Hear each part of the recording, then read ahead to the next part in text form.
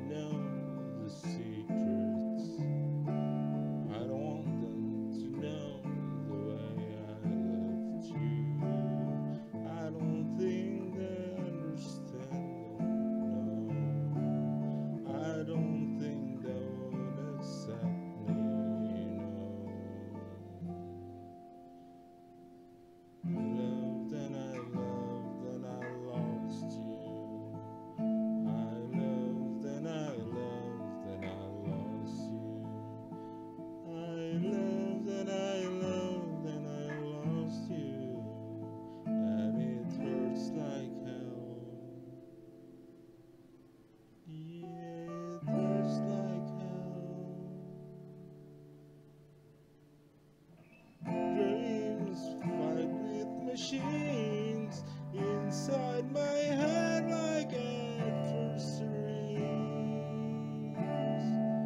God